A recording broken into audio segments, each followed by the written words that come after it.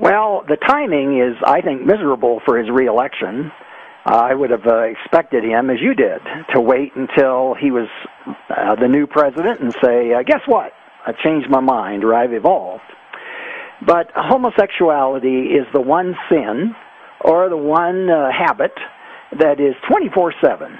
It is homosexuality all the time. And actually, uh, while I'm not sure about the claims by the various people who have, uh, who have reported that Obama has at least participated at times with them in homosexual acts, uh, this certainly lends some credence.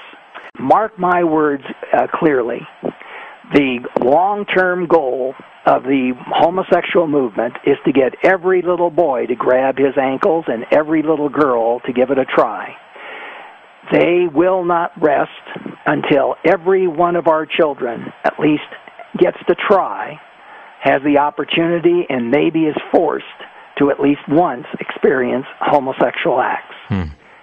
There is there's no retreating from that. They've made it very clear earlier on. Now they don't talk about it, but uh, that's what they want. They will not be happy until they get it. Marriage is just a step along the way.